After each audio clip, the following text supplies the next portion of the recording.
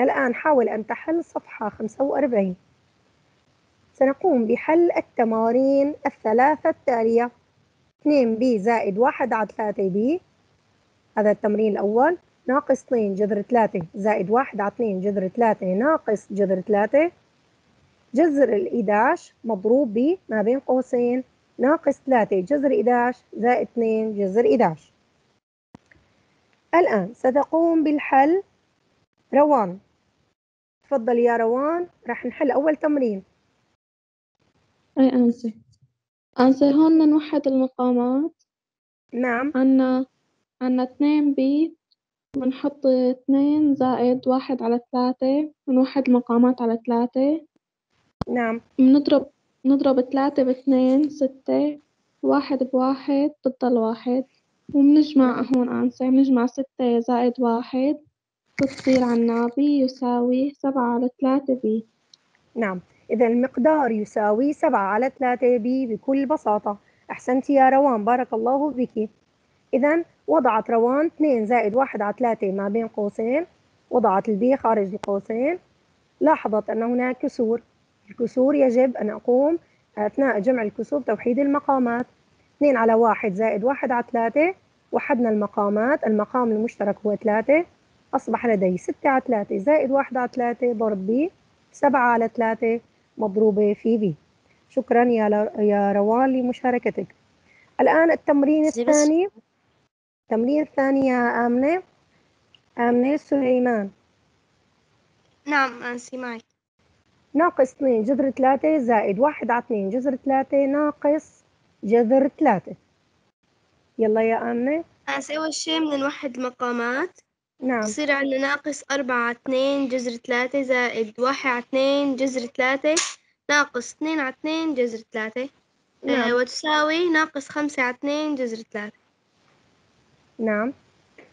ناقص خمسة على اثنين جذر ثلاثة أحسنتي يا آمنة بارك الله بك. إذا ننتبه ناقص اثنين زائد واحد على اثنين ناقص واحد وضعتها ضمن قوس ضرب جذر ثلاثة. أضع المقام ناقص 2 على 1 زائد 1 على 2 ناقص 1 على 1 طبعا مقام العدد الطبيعي هو 1 أثناء توحيد المقامات تصبح المقامات جميعها 2 ناقص 4 على 2 زائد 1 على 2 ناقص 2 على 2 إذا ناقص 4 ناقص 2 ناقص 6 زائد 1 ناقص 5 على 2 طبعا العمليات كلها تجرى على البسط والمقام المشترك يبقى على حاله. الجواب النهائي ناقص خمسة على اثنان ضرب جذر ثلاثة.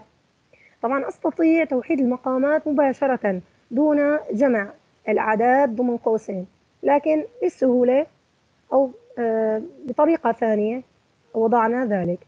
يمكن توحيد المقامات مباشرة أيضا.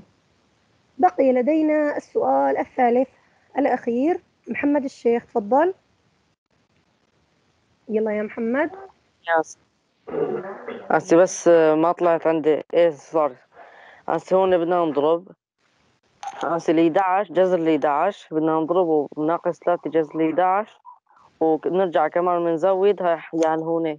نرجع كمان نضرب جذر ال 11 بتزائد 2 جذر ال 11 نعم. بصير عندنا جذر ال 11 ضرب آه ضرب ناقص 3 جذر ال 11 بتتم على نفسها. ناقص ناقص 3 آه ناقص 3 زائد 11 ضرب 11 ناقص 3 ضرب 11 طيب سؤال يا محمد. سؤال يا محمد من اجى العدد 11 هون؟ أنا كان عندي جذر 11 مضروبة. لأن هون 3 جذر 11 لأن هون ناسي جذر بجذر وكان العدد تحت الجذر نفس العدد الثاني بيروح الجذر. نعم طبعا يعني تمام نقول جذر 11 للتربيع فيكون الجواب 11 أحسنت يا محمد. نعم. القوس الثاني القوس الثاني بس كمان نضرب جذر ال 11 زائد 2 جذر ال 11 بصير كمان 2 كمان بصير ال 11 2 ضرب 11 نعم. تمام.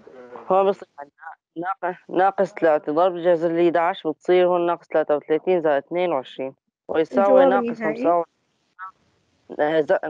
ناقص ناقص 11 ناقص 11 ناقص 11 نعم. إذا الجواب النهائي ناقص 11 شكرا لك يا محمد أحسنت. الآن ابتسام ستقوم بحل التمرين لكن بطريقة ثانية. هل يوجد لديك طريقة أخرى يا ابتسام؟ أنسي لا أنا ما عندي طريقة تانية خلي نفس الطريقة يعني. نفس هاي الطريقة. طيب بس آية. أنا حالي بطريقة تانية. طيب تفضلي. أنسي يساوي جذري 11 بنفتح قوس ناقص آه، واحد جذري 11 ونسكر القوس يساوي جذري 11 ضرب جذري 11 ويساوي ناقص جذري 11 ناقص 11 ناقص 11 بالنهاية. تمام.